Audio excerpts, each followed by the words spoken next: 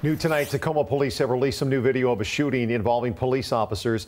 Those officers responded to the office bar and grill on Pac Ave last month after getting reports of a fight and a man possibly firing a gun.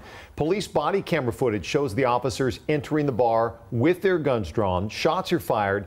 And a warning here, we are going to play that footage for you now, but we can't tell you that nobody gets hurt.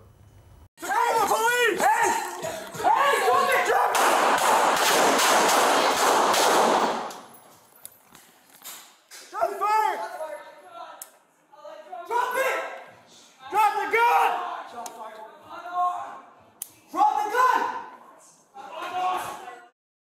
So he's saying I'm unarmed. Uh, in this surveillance footage, you can see the suspect, 27-year-old Jonathan Lane, raising that gun as the officers walk in the front door. Lane was not hit by any of those shots. He eventually slid his gun under a table and then retreated to a bathroom. He and a relative were eventually detained and taken to the hospital to be treated for intoxication.